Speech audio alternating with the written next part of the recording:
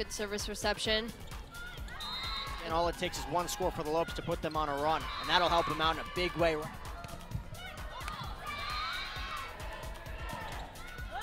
Their opponents, in order to go on a bit of a run, as it Picks it up.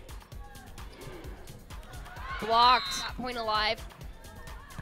Back row attack. Beautiful up by Claire Mitchell. That's what we need. Them go on some runs here. They have to go on a 3-0 run right here, right now. Sarah Haggy. So UTRGV looking to go on a run.